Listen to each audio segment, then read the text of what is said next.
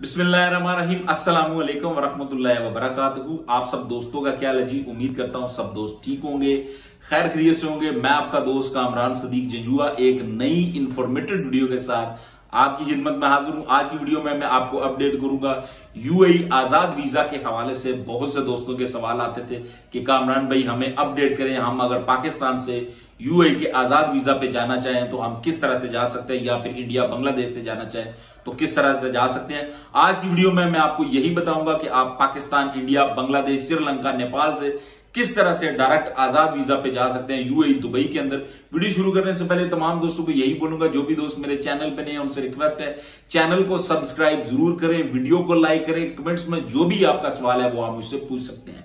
Basically आज़ाद visa क्या होता है कि आज़ाद वीज़ा इस तरह से होता है कि अगर कोई बंदा जो कि यूएई में बिज़नेस होल्डर है या कोई कंपनी का जो सीईओ है कंपनी का जो मालिक है, वो आपको आज़ाद वीज़ा दे सकता है। अब आज़ाद वीज़ा लेने का तरीका क्या होता है? आज़ाद वीज़ा किन लोगों से लिया जाता है या कौन लोग जो है वो लेके देते हैं या किस तरह से मिलता है?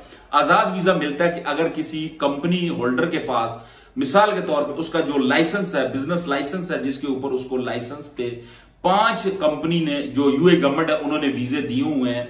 वो क्या करेगा कि वो तीन जो वीजे होंगे, उस पर उसने अपने बंदे रखे होंगे। दो उसके पास जो वीज़ा होंगे, वो पड़े होंगे, जो कि आज़ाद वीज़ा होंगे। बेसिकली वो क्या होता है कि दो साल का वर्क परमिट वीज़ा ही होता है। लेकिन जो बिज़नेस होल्डर होता है, जिसके पास जो, जिसकी कंपनी होती है, या जिसका कोई बिज़नेस होता है, जिसके वीजे, जिसके पे वो आपका वीज़ा निकालता है, आज़ाद वीज़ा वो क्या करेगा कि वो आपके डॉक्यूमेंटेशन जो है, वो सबमिट करेगा। डॉक्यूमेंटेशन सबमिट करने के बाद आपका वीज़ा निकलेगा। उसके बाद आपको एनओसी लेटर देगा कि आप कहीं पे भी जाके जो है, वो जॉब कर सकते हैं। उस एनओसी लेटर पे आप जो है, वो लाइसेंस भी ले सकते हैं। उस एनओसी लेटर पे आप जो है, वो जॉब भी कर सकते हैं। बेसिकली जॉब करने का एनओसी लेटर अलग होता है। लाइसेंस लेने का जो जो एनओसी लेटर है, वो अलग होता है। और उस आज़ाद वीजे पे अगर आप बैंक में जो है, वो अपना अकाउंट खुलवाना चाहते हैं तो उसका एनओसी लेटर अलग होता है। आपका क्या होगा कि जो आपको वीज़ा देगा, जो बंदा आपको वीज़ा देगा यूए के अंदर, वो आपका अरबाब होगा। उससे आपने जो भी काम करना यूए के अंदर, उसके लिए आपको एनओसी लेना होगा।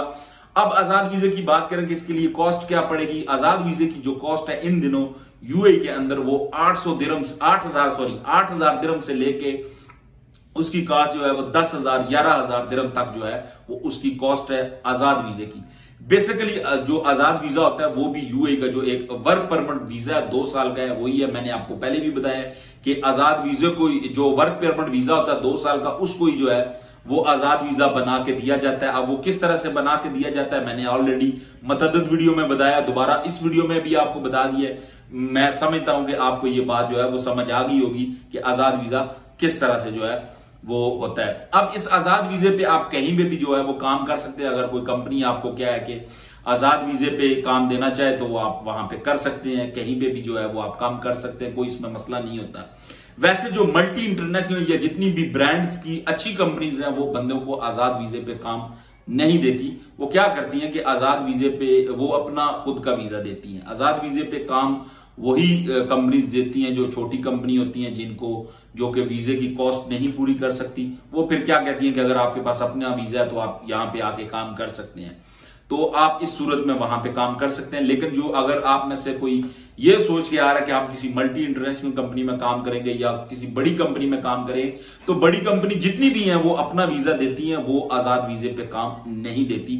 ये भी बात मैं आपको यहाँ पे क्लियर करता चलूँ। लेकिन फिर भी अगर आप समझते हैं कि आपको आज़ाद वीज़ा लेना चाहिए तो आप वीज़ा लेके आ सकते हैं।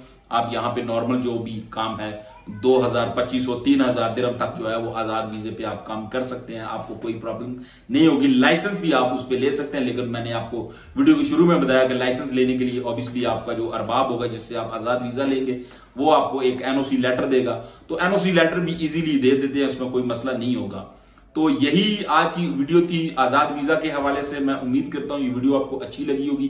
अगर ये वीडियो आपको अच्छी लगी तो वीडियो को लाइक करें। जो भी दोस्त मेरे चैनल पे नहीं है उनसे रिक्वेस्ट है चैनल को सब्सक्राइब ज़रूर किया, किया करें। वीडियो को लाइक भी किया करें। तो मिलते हैं किसी नेक्स्ट वीडियो के साथ। अल्लाह हाफिज।